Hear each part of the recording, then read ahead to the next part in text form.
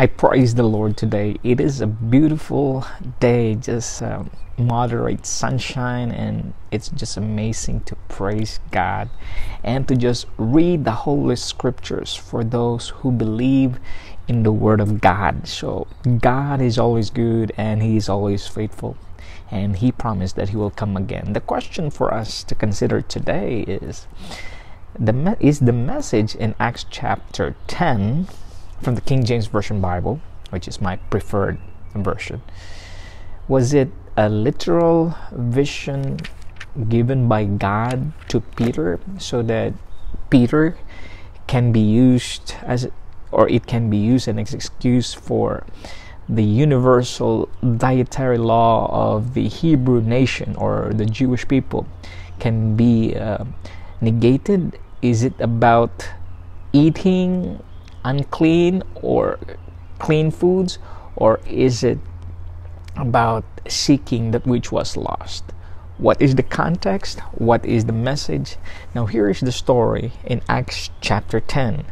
This is a beautiful story, and it's a historical story, and it's um, and it's worthy of our reading, and it's worthy of our time, especially in these last days. The Lord has given us enough information from the Holy Scriptures so that we will know and we will have faith in Jesus Christ the Messiah who came to save me and to save you who believes in him and has faith in him that produces works and are assured of his divine grace, divine mercy, and that his love for us is seen, manifested, and demonstrated by our love and compassion as well for others. So here we go. The question is of course, we know that this is historical and this had happened. Is this about food? Eating of the unclean, which was regulated in the time of um, uh, Moses, the time of the Israelites, the people of God, the chosen ones, who came out from Egypt to the promised land in Canaan, is this the passage or is this the chapter that could that could be used to excuse of eating in eating the unclean foods specifically specified in Leviticus 11 as well as echoed in the book of Deuteronomy. Is this about diet? Or this is about the gospel. Let's find that Mediterranean Mediterranean Sea. So this is a beautiful place. I've been there. I, I saw the, the place that was built for, in honor of the Roman Emperor Caesar uh, by by his um, by his uh, subjects over there, the Roman Empire. And so he he literally um, Paul, I'm uh, the Book of Acts. Doctor Luke, the physician, literally gave us historical specific points of interest and a name. Cornelius he was a centurion meaning to say he's he could be a commander of the 100 men in the army. They are called the italian band. So it's just there. It's uh, it's given to us.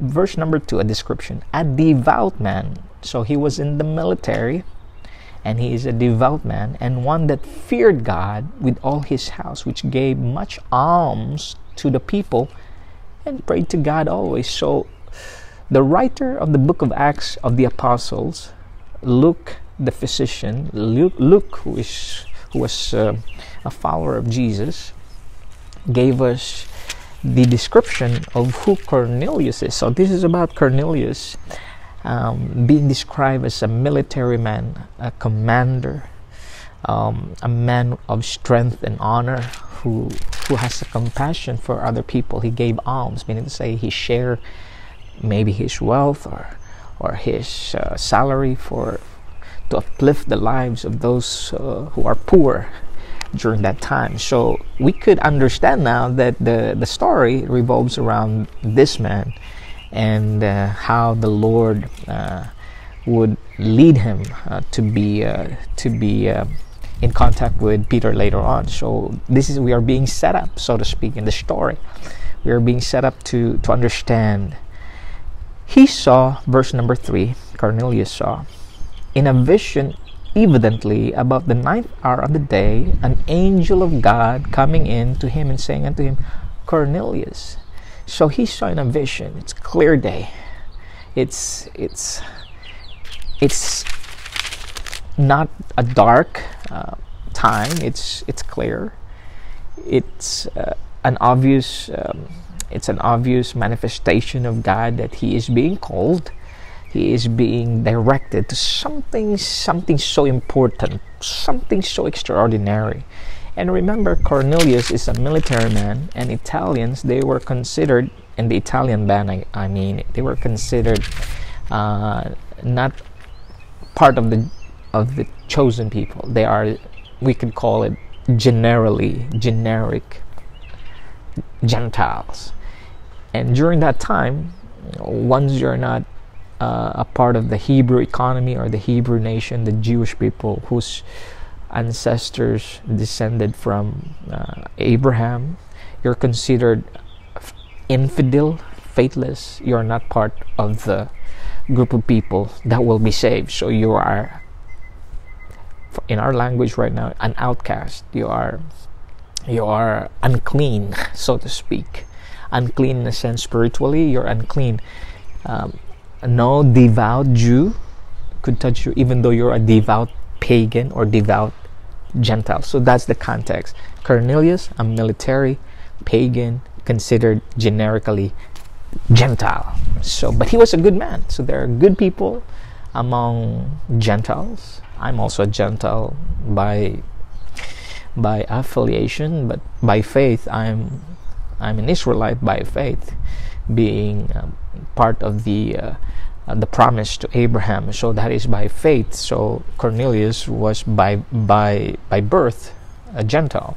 So, but by faith not yet. But he was a good person, a devout, praying to God always. That's what the Bible says. A verse number four. It's beginning to to um, unfold now. And when he looked on him, the angel, Cornelius was looking, he was afraid and said, Now remember, he was a military man, he was trained in the arts of fighting, he was um, trained in the arts of killing, but he was afraid. What is it, Lord? And he rec- Cornelius recognized because he was a devout, devout person who prayed to God. He doesn't know the God of Israel, probably, but he believes in the God somewhere, some somewhere out there, and and God manifested through His angel, the man, um, the messenger of God, the angel showed uh, in a vision to Cornelius, and Cornelius responded with a very humble and very uh, appropriate manner. He was. Uh, a military commander and he humbled himself and he was courteous and he said what is it lord and he said unto him thy prayers and thine alms are come up come up for a memorial before god. This is a lesson. Whether you are uh, part of a denomination or a different religious organization really doesn't matter friends. I will say that again. Even though i have been uh, i have been employed for the past many years of my life as well in a particular denomination, particular organization of the church. I don't necessarily believe, uh, I don't necessarily uh, would say that one particular organization is better or is best suited to fulfill God's mission than other other denominations, other organizations. No, not that way. In even in my own denomination, I'm speaking to those who read my my bio and my introduction in my Facebook uh, page. Even in my own church, so to speak, I don't necessarily believe, but I love my own people. I don't necessarily agree or believe that th- we are the only ones who have the monopoly. God has His own people outside of this church that I'm I'm I'm talking to I'm I'm, I'm I have worked my life with uh, which had also had hurt and and and had uh, and then help both ways so what my point is, God has devout people outside of the Seventh Day Adventist Church.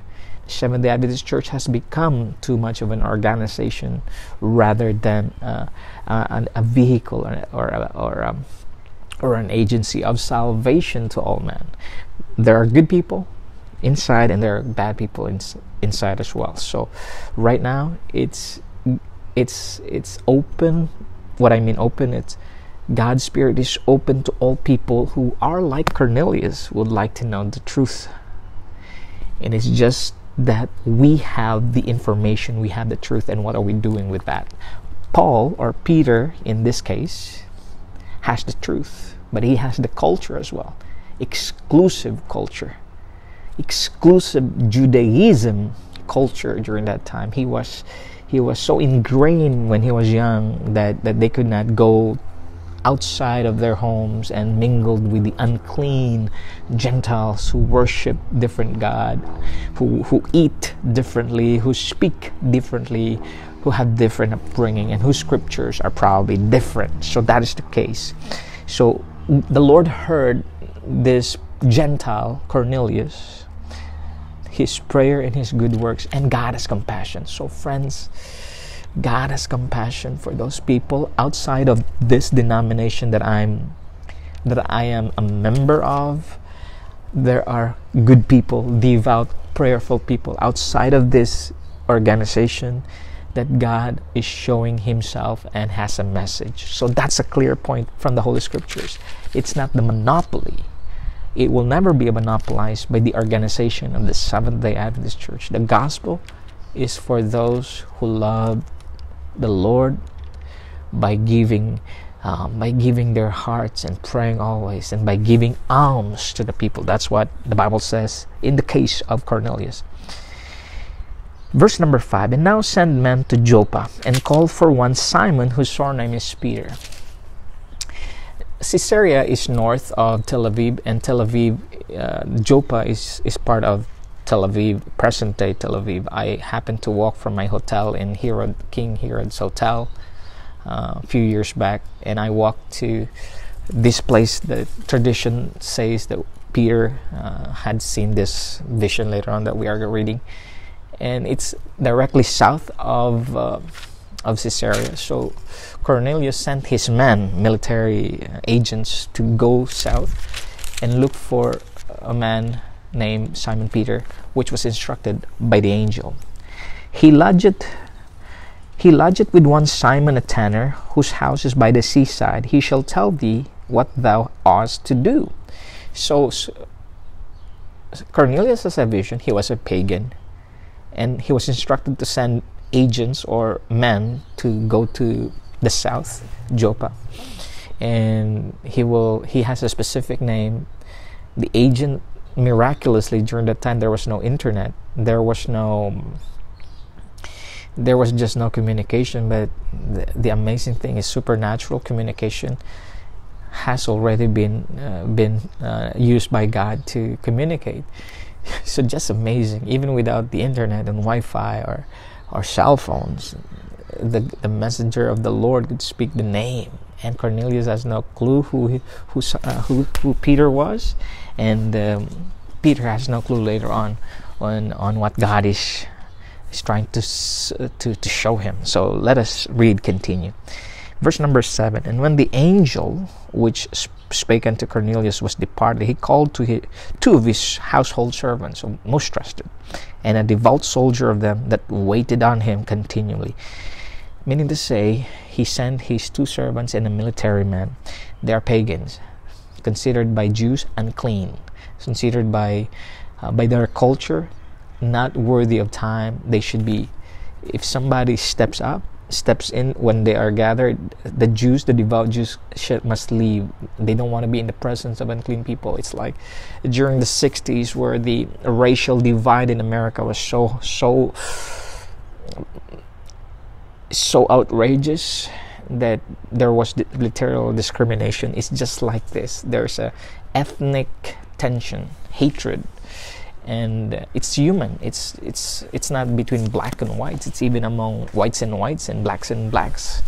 It's between browns and blacks and whites and browns. Everyone is everyone is is, is conscious or unconscious that he or he is a racial discrimi- discriminator. It, nobody is exempted because of the human heart. The wickedness wants to individual heart wants to be supreme. That's the that's the main issue of of, of racial racial divide and racial discrimination and ra- racial destruction.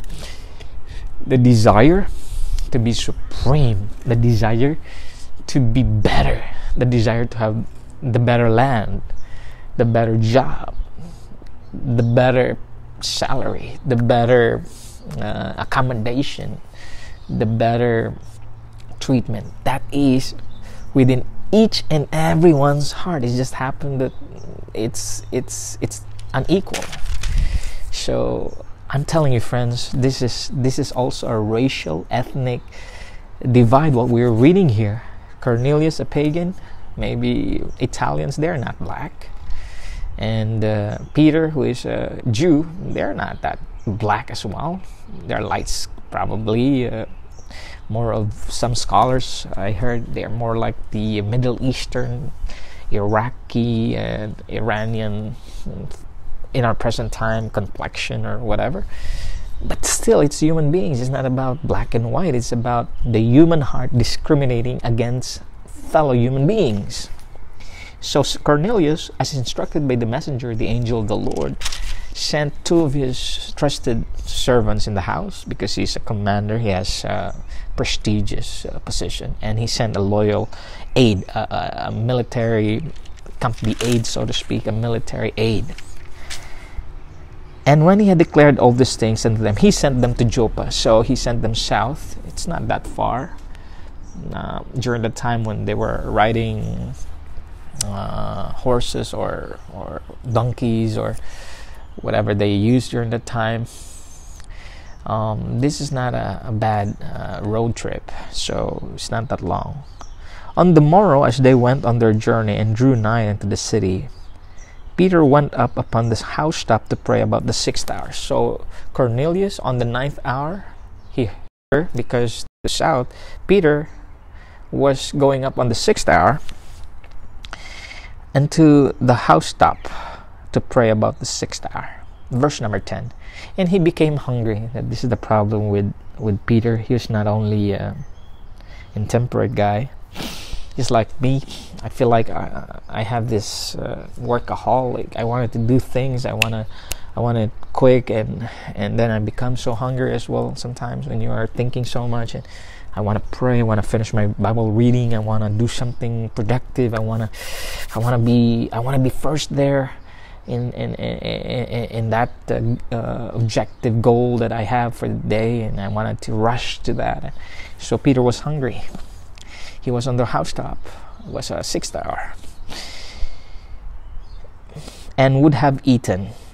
But while they made ready, he fell into a trance or a vision. Trance or a vision. So meaning, while his inter, uh, while his uh, group of people that's with Peter, we don't know who they were um, they were preparing meal but before peter could go down to eat because he was hungry he, he fell into a trance or a deep um, probably a vision that is so important that god allowed him to be hungry while at the same time thinking of food downstairs and thinking of what to eat. Uh, maybe the, the jews the jews is strictly during the time um, not only halal, but um, what they call this, uh, they have this regular restrictions and regulations how to cook meat, how to cook uh, chicken, how to cook fish, and they have specific ways how to kill the animals for eating and for preparing how to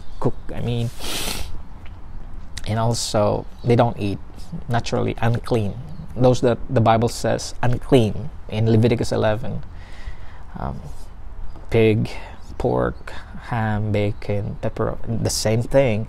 The Jews, Peter, and even Jesus, the rest of the apostles, the rest of those who follow, they don't eat that. Very clear. Even Paul, very clear. Not not negotiable. It's it's a dietary law. They have a purpose to save their their bodies from certain diseases. That's clear in Exodus, Leviticus, as well as Deuteronomy, how God's people were provided by God. But clean meats they do because after uh, the flood there was no no no vegetations, no fruit, so they were allowed to eat, but only clean meat. Clean during the time of Peter, clean meat. So this is the story. Peter was so hungry that God gave him a vision because the man, the pagans, uh, the Gentiles sent by Cornelius, the two household help, trusted household helpers, and a military agent, uh, trusted uh, com- uh, agent of uh, Cornelius, were on their way to Joppa. So Peter was there. He was hungry. He was not able to go down and eat, and then he became um, uh, he became so imbued with this vision, as we will see. Verse 11 And Peter, he fell into a trance and saw heaven and open, opened, and a certain vessel descending unto him as it had been a great sheet knit at the four corners and let down to the earth. So you could hear, you could, it was described in the Bible, self explanatory, wherein were all manner of four footed beasts of the earth and wild beasts and creeping things and fowls of the air. Wow. And there came a voice to him, Peter, rise. Uh, I mean, rise, Peter, kill and eat. He was hungry, remember? And he was in a vision, probably in an open eyes, with open eyes. He was not closing his eyes with open eyes. He saw heaven open with a sheet and all kinds of unclean, not like not not just pork, probably bats, rats, crocodiles, elephant, camels, all those things that could not be eaten, just just unclean. So you could imagine he was hungry, and he was um, what they call this. Uh, he was um, given that vision because uh, Cornelius' uh, uh helpers are on their way to meet Simon Peter. They they don't know who Simon was, Simon Peter was, but they were given instruction because of the miraculous uh, uh, moments when Cornelius uh, was given that, that vision by the angel. But Peter said, verse 14, Not so, Lord, for I have never eaten anything that is common or unclean. A wise Jew would always answer because he was literally hungry. He said, No, no, not Lord, no.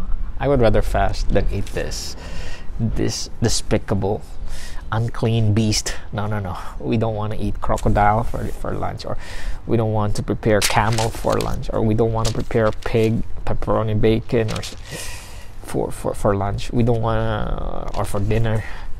Uh, we don't want a bat fried bat for dinner. We don't want. Uh, he was just saying. I'm just giving you the exaggeration part of of what probably transpired. No, Lord, not so, Lord. I know this is from you, a clear vision from heaven. I'm touched by your by your concern for me, but I'm hungry. No, no, I don't want to eat and and and kill and eat. No. And the voice, verse 15, the voice spake unto him again the second time. Now the voice is not recognized here whether it's directly from God or from the messenger or the angel, but it is the voice from heaven. Unto him again said, but in the King James Version, this voice is in red words, so this is assumed to be the words of Jesus Christ. What God hath cleansed, that call not thou common or unclean. so this is it. This is what Jesus said. So Jesus spoke it. So Jesus is dismantling the dietary laws in Leviticus. There you go. This is the bullseye, ground zero, that you can eat everything now. That you can eat everything now. Because what God hath cleansed, that call not thou common. Meaning to say in the other versions, the other dynamic versions that are that are giving us different understanding probably uh, NIV the King James version. Um, someone called this NIV the the Jesuit behind the scene translations. I cannot blame this uh, independent minister, and because I tried to check as well and verify, and I could say that there is so many uh, many changes, so to speak, or addition or a little subtle uh, nuances that, that could give us a wrong impression. But this is the point. That voice, let's say, by the by the uh, by the account of King James version, it's from the Lord Jesus Himself, the authority. And He said, "What God hath cleansed, that call not thou common." The question is this: Is did God really cleanse those beasts over there that He had shown Peter in the in the blanket? Was it literally cleansed? But it's all about calling that you call thou thou call not thou common.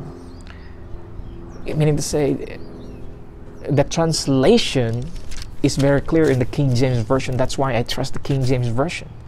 The other version would say God has do not call hath God not cleansed that you call them uncl- that you call the beast unclean. I mean, to say it's all it, it's about food, but this one is not about food. Listen, what God hath cleansed, that call not thou common. Meaning to say, it is not ordinary. It's not common. It's not. It's not the the the the. Uh, obviously, not talking about the, the the dietary restrictions here. It's about the unclean uh, understanding towards towards something or someone. Okay? This was done, verse 16, done thrice, and the vessel was received up again into heaven, and there was no more explanation. Verse number 17 Now, while Peter doubted in himself what this vision, what this vision which he had seen should mean, should mean, this was a vision, and there was there is no such thing as literal ways of of, of, of killing or eat. And the fact that Peter did not rise, kill, and eat gives us a clue that this is not about food. Listen, verse 17, the immediate text that follows. Behold, behold, after he had he has been doubting himself, behold, the man which were sent from Cornelius had made inquiry for Simon's house and stood before the gate. So the, the guys were already on the gate, and Peter was just doubting him in himself whether this is uh, this vision means something that he needs to tell everybody and preach began to preach hey eat kill rice kill and eat pork rice kill and eat bat rice kill and eat cockroaches rice eat, uh, eat and kill elephants rice kill and eat camels which are by the way described in leviticus 14 that those beasts or animals were indeed unclean owls bats eagles here Jews during the time of Jesus Christ and time of Peter, the time of Paul, the time of the apostles, they don't eat. And even now I don't eat them as well because of the the diseases that may be spreading. And in fact, it's it's clear fact that the virus that we are all are devastated from comes from the unclean bat, which is the Bible say, you know, not even touch their flesh or or or, or play with them or it's implied there. It's not the but it's there. The bad, the here, and the budget. Don't don't don't do anything with them. They're wild beasts. They're in the wild. God has other purposes for them. And so while Peter was doubting himself and trying to explain what the vision was, listen. The immediate impact. Cornelius' servants, two servants, and a military aide, three men seek thee, while verse 18 i mean and called and asked whether simon which was surnamed peter was lodged there. While peter thought on the vision the spirit said unto him behold three men seek thee. Is it about eating or is it about seeking? That's that's why the title is like that. Is it about eating?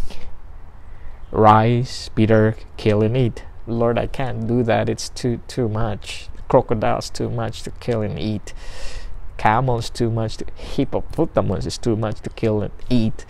Um, what else? Uh, too much lord. But there are people literally nowadays literally nowadays eat those things. Crocodile snakes bats rats rabbits. Oh if you could only understand the risk of transmission of diseases then you'll probably be, be careful of what you eat. So is this about eating or seeking Arise, therefore, verse 20. Arise. What did Jesus spoke according to the King James Version? Because this is a red letter words here. The vision said, Rise, Peter, kill, and eat. What God hath cleansed, that call not thou common. in the King James Version. I mean to say, do, do not discriminate, do not be exclusive, do not do not call uh, anything or someone or something in your mind common because something is about to happen. While verse 19 let this is just this is just important. But while peter thought on the vision the, the spirit said unto him behold three men seek thee. Arise therefore and get thee down and go with them doubting nothing for i have sent them. Then peter went down to the, the men which were sent unto him from cornelius and said behold i am he whom you seek what is the cause whether you are come generally during the time that will be a source of angst or anxiety for Jews, faithful Jews, especially disciples of Jesus, speaking about the resurrection of Jesus. They will be probably be hunted down by, not they were hunted down by by Saul, who is also a Jew, but they will be hunted down by authority, which are pagan. So they are uh, they're probably uh, having that tension. They will not probably entertain, or they will not probably believe those Gentiles. So this is the clue of what's the what's the vision is all about you can't you can't label other people this is this is my insight now interpretation unclean because God made them clean when they are able to hear and receive the good news. Now they need you to teach them what to do. So that is my interpretation. And so and so this is this is now in verse 22 and and they said cornelius the centurion a just man and one that feared god and a good rep- and of good report among all the nation of the jews was warned from god by an angel by an holy angel to send for thee into his house to hear words of thee. So cornelius who is who is a real good person a genuine good person. He is a gentile but he he he he works good works both people uh, Jews and Gentiles alike and the other ethnic groups there. He he he doesn't show um, prejudice probably and he was considered a good person. So the the messengers the the two the two household helpers of Cornelius and the military aide spoke to Peter and they said Cornelius the centurion a just man and one that feared God wants to hear the words of thee. Verse 23 Then called he them in and lodged them. And on the morrow Peter went away with them, and certain brethren from Joppa accompanied. There is no no mention that they eat, or even at least a slight hint or clue that Peter prepared uh, a crocodile steak for them, or a camel uh, teriyaki, or or, or or or even pork. There's none. Jews ab- ab- abhor those unclean meats for a reason because of their health. They abide with their dietary law because they honor Moses, who is the greatest lawgiver in the nation of Israel, even until now. Except for some Jews who, who, who really want to eat unclean meat, they don't care, but they call themselves Jews. But during this time in our story, the Jews were really obedient and keepers of God's commandment. So he entertained, he, he lodged, Peter lodged those Gentiles. That is the point.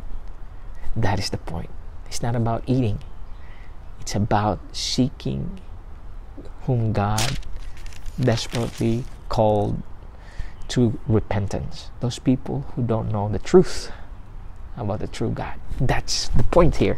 There's no way, there's about, if you read the context, there's just no food here. It's just the vision. It's not literal rising. It's about welcoming, lodging, and going with them, trusting them.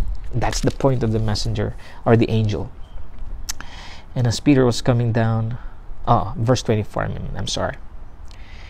So they were they were preparing to go to from Joppa. They were going north to uh, Caesarea. And as Peter was coming in, Cornelius oh, verse 24, I'm sorry. And the morrow after they entered into Caesarea, and Cornelius waited for them and had called together his kinsmen. And here's, he has already a huge church gathering people. I mean, oh, Cornelius, Cornelius was just a figure that is so interesting in the Bible that one man could bring his whole, his all relatives, his all community, Gentiles, unclean in the eyes of Peter, unclean in the eyes of the Jews, into that setting. What a gospel opportunity, what an evangelistic. There's no budget for that, no spending, no it's just obedience to the to the Lord's command. And Cornelius was a good person, a pious, devout man, a Gentile, and all his kinsmen. The Bible says, and and his community, they were just waiting for for Peter. Verse 25. And as Peter was coming in, Cornelius met him, fell down at his feet and worshiped him. P- Peter, Peter, who, who left Jesus when he was about to be crucified, denied Jesus three times. He was being worshipped by Cornelius, a commander, a military man, well trained in the arts of fighting. Given an order, he is duty bound to follow with, with his life at stake. He kept his word, honorable man. He bowed down to Peter. He worshipped him. What was the reaction of Peter? But Peter took him up, saying, Stand up, I myself also am a man. It is only Jesus Christ. It is only Jesus Christ. When people worship him, he did not say, Stand up, for I am a man. He, Jesus Christ allowed his disciples and all those who believe in him to worship him because he was not only a man, not only he became a man, he was God the Father. Ah, he was God the Son, whom God the Father had sent. He was indeed the creator, the active agent of crea- creation, Jesus Christ. And he allowed himself to be worshipped. But Peter, who is a man, did not. So that's a difference. Okay. Verse 27 As he talked with him, he went in and found many that were come together. He was surprised. I would be so, I would be so doubting at first if ever this happens to me if I was Peter. Oh no. It's like I'm a Filipino Adventist Christian who will go to um, who will go to Africa for uh, you know for a mission that I don't know, but God just give me a, vi- a vision to to go there and not not to discriminate. Maybe I will be in a voodoo village, but there was a, a good person there. That's probably black than me. I don't know, and I had to preach and I'll be probably be anxious and they all gathered and then I'm a little bit darker than they are and I felt like man this is not my people this is not my language this is not and they don't believe what I believe they don't eat what I eat I eat plants vegetables and fruits they feel that I'm weak they might eat me Some, something like that. But that was an opportunity for Peter to seek that which was lost. Is it about eating or seeking? So that's exactly what's happening here. And he said to them as they were gathered together. Verse 28 Ye know how that it is unlawful thing for a man that is a Jew to keep company. Unlawful in the Jewish traditions and policies, in the Jewish nations, states law. Uh, they had they don't have the state during the time. They were under they were subjugated by the Roman Empire. They were under the Roman Roman governor and and and uh, well a Roman assigned governor. Uh, and they were they were instructed when they were young they were young that you know what you, you can't you can't mingle with non-Jews gentile gentiles they're unclean. So Peter opened up his words or his statement like this No, ye know how that it is unlawful thing for a man that is a Jew to keep company or come unto one of another nation. They are they are per- forbidden it's just like it's a lockdown it's not lockdown you can't go to another nation you know you evangelize in your own country that was the mentality during that time it was so racially ethnically divided that the Samaritan, even the Samaritan the Jews, they were cousins, so to speak, but they don't even see eye to eye and they don't like each other. They hate each other. They have wars. They have they are fighting. There are bloodsheds there. Now this is pagan. The pagans subjugated the Jews and they impose emperor worship to, to the Jews, which abhor idolatry and even worshiping of, of, of man. But Cornelius worshiped Peter, unheard of, meaning to say, Cornelius was desperate to know who the true God is, who the true God that that um, Peter was about to say. But God hath showed me that I should not call any man common or unclean. This is the answer. Show God vision, God's vision. Rise, Peter, kill and eat. It's a, not about eating, it's about seeking the lost. The dietary law still regulates the Jewish uh, culture, faith, in their God because of health reasons, not of salvation per se, but salvation is also about healing. So it has a sort of indirect connection to um, to your salvation per se. Not that you will be saved by what you eat, but by the but by the healing of, of what you eat so that you can praise and glorify God and that your minds and heart are strong enough to continue to worship and to do God's will. Peter said, I should not call any man common or unclean. The vision was not about food, it is about seeking the lost, the Gentiles. Verse 29 Therefore came I unto you without gainsaying as soon as I was sent for. I asked therefore for what intent you have sent for me. So, what is your intention why you called me, while you asked for me, and I came here? Verse 30. And Cornelius said, Four days ago I was fasting until this hour, and at the ninth hour I prayed in my house, and behold, a man stood before me in bright clothing verse 31 and said cornelius thy prayer is heard and thy alms are had in remembrance in the sight of god. Just cornelius is just speaking what he experienced. Send therefore to joppa and call hither simon whose surname is peter. He is lodged in the house of one simon a tanner by the seaside who when he cometh shall speak unto thee. Immediately verse 34 33 immediately therefore i sent to thee and thou hast well done. Thou art that thou art come meaning to say peter the same guy, in, impulsive, workaholic. He was the right guy for the right time. He he he went there because because Cornelius was just waiting for them. If if he delayed, if he did not go because he was hesitant or doubting, this could not have happened. Exactly, exactly. Immediately, therefore, I sent to thee, thou hast well done that thou art come. Now, therefore, are we all here present before God to hear all things that God are commanded thee of God? Oh, amazing! How I wish there are people like this in our time right now that I it just it's just so blessed to minister to these kinds of people. This is what we need. He is a better Christian than most Christians during his time. But he was not a Christian yet. He was a Gentile who understands who knows God, and God showed himself to him. He it's like he was more Seventh day Adventist than most Seventh day Adventists of our time. Then Peter, verse 34, opened his mouth and said, Of a truth I perceive that God is no respected of person. Meaning to say, this is where the the truth is um, in Acts 10, verse 34, that says, when he opened it, Peter opened his mouth, God does not is no respecter of person. Meaning to say, God doesn't care if you're not care.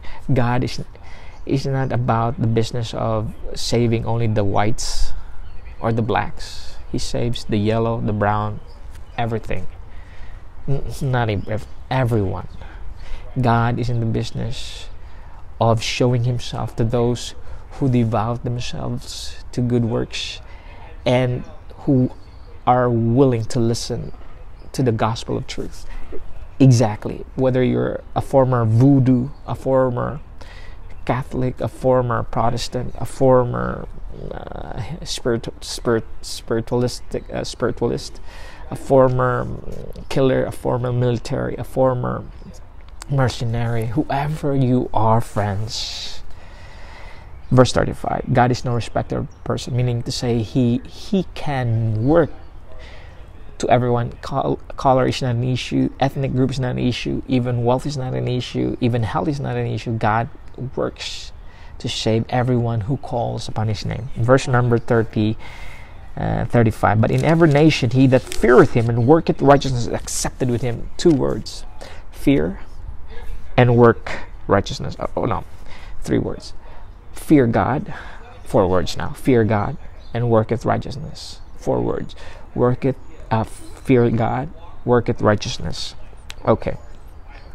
Verse 36 The word which God sent unto the children of Israel, preaching peace by Jesus Christ. He is Lord of all. So, this is the time Peter preached about Jesus Christ, his master. That word I say, you know, which was published throughout all Judea and began from Galilee after the baptism which John preached. He gave, he gave the history from where the time John, the cousin of Jesus, was the forerunner, talking about the Messiah, and and how Jesus was baptized the, um, the, the river of Jordan. How God anointed Jesus of Nazareth with the Holy Ghost and with power, who went about doing good and healing all that were oppressed of the devil for God was with him. God, God was giving the power to Jesus. And we are witnesses of all things which he did both in the land of the Jews and in Jerusalem, whom they slew and hanged on a tree. Verse 39. Verse 40. Him God raised up the third day and showed him openly, meaning to say Peter was an eyewitness. This is powerful, friends, because Peter saw everything and he he testified to Cornelius not to all the people, but unto witnesses chosen before God, even to us who did eat and drink with him after he rose from the dead. Uh, clean foods. And he commanded us to preach unto the people and to testify that it is he which was ordained of God and to be the judge of the quick and the dead, both the living and the dead. Verse 43 To him give all the prophets witness that through his name whosoever believeth in him shall receive remissions of sin. So Paul is explaining to him it's only Christ Jesus, the, the man from Nazareth, whom God give the power to do good, heal, heal, and heal the, the, the sick and, and set free those who are possessed by the devil. And he was murdered he was hanged on the cross in Jerusalem. And then, verse number 43, he said, Those who believe in Jesus, their sins will be. Their sins will be forgiven, remission, the same idea. Verse 44 While Peter yet spake these words, the Holy Ghost fell on all them which heard the cry. Ah, amen. Beautiful. You don't need a budget for evangelism. You don't need to be orga- an organizer. All we need to do, all I need to understand is that when the Spirit of God supernaturally works, it just works without a single penny spent, without too much effort. It's just the vision. One man in the north, one man in the south. Just two visions. It's not about eating unclean foods, friends, about seeking the lost. And they of the while Peter yet spoke on these words, the Holy Ghost fell on all them which heard the word. Praise God. The Holy Ghost worked with them just like in the upper room in Acts chapter 2 when Peter spoke the fiery message which I had in my video. Uh, if you could check my timeline down there. And they of the circumcision which believed was astonished as many as came with Peter because that on the Gentiles also was poured out the gift of the Holy Ghost. So Peter has his own entourage, and there are people who came with him, Gentiles and Jews together, and the Holy Spirit fell. For they heard them speak with tongues and magnify God. And then Peter, Peter answered, and then Peter answered Peter, Can any man forbid water that these should not be baptized, which have received the Holy Ghost as well as we? And he commanded them to be baptized in the name of the Lord. Then prayed they him to tarry certain days. Cornelius was baptized by the Holy, by water, by the influence of the Holy Ghost. Amen.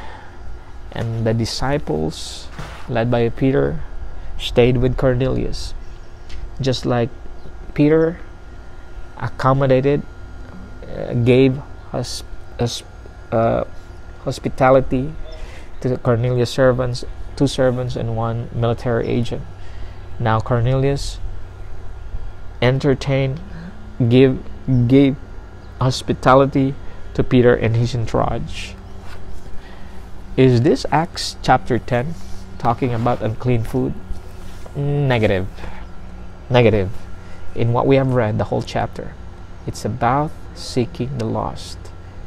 Peter was still a Jew, faithful to the dietary law, not to be saved, but to stay uh, obedient and to stay healthy in the Word of God. The purpose of the regulations of God is for our safety and security as we share the gospel to other people.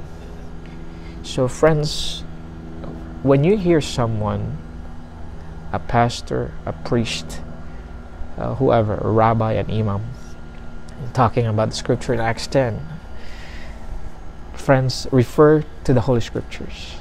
It is about seeking the lost whom God had paid with his dear life to redeem. So there you have it. There you understand. I mean, there, I hope you understand the message of Acts 10. I will still encourage you, friends, to continue holding on to the healthy lifestyle found in the Old Testament. They are still relevant to our time. Extremely important for us to be healthy. And the Bible gave us the reasons, and the Bible gave us the word how we can achieve. Because what we eat is what we what we what we become. And what we become is what God is interested so that we can become his messengers to the Gentiles. Those people are not Seventh day Adventists. Those people are not Christians so friends may you be blessed today. May God continue to give you strength and God continue to give you the knowledge above all wisdom from him. May god continue to bless and keep you today is my prayer